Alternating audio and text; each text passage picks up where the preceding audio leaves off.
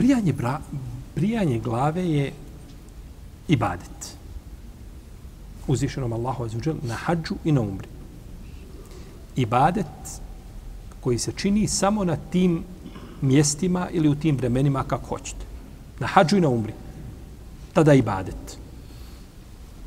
I brijanje glave brijanje glave može biti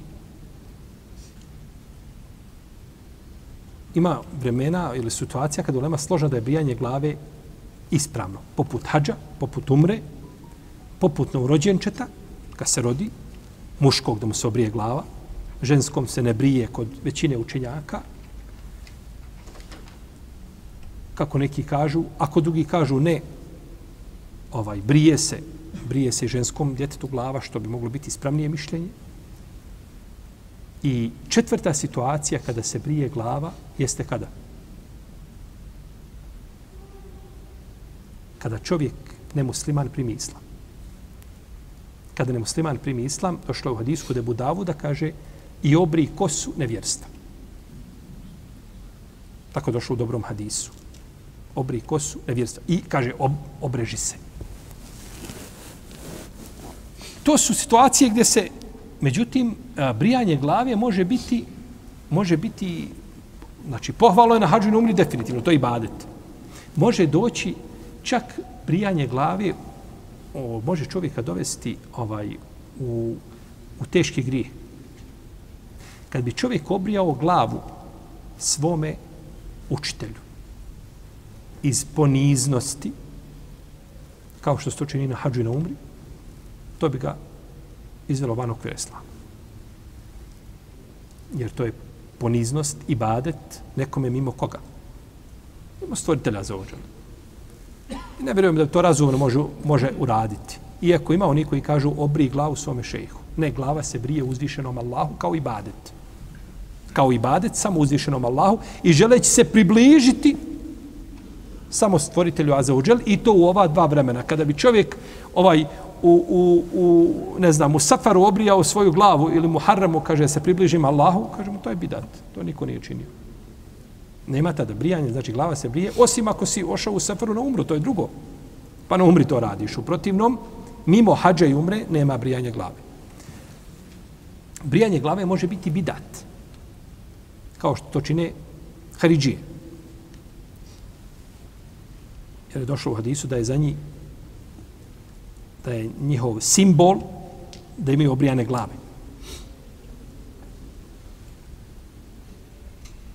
Pa se spominje da, da simbol je brijanje. Pa su ljudi razumijeli da je to da je to brijanje brada.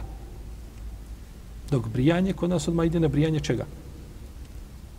Kaže, vidiš kaže da je simbol brijanje nema nigdje u hadisu, ni jednom, zabrana da se brije brada. Takav hadis ne postoji. Dok je došla zabrana, znači brijanja, ako se govori o brijanju, misli se na brijanje čega? Glave. Za bradu imaju hadisi naredbe o puštanju brade. To ima. I kod Buhari, i kod muslima, i kod ostali. Rezultat može biti jedan. Ali nema hadisa u kome se kaže i zabranjeno je brijati brade, i nemojte brijati brade i tako dalje. Nego puštajte brade. Nemojte oponašati. Tako.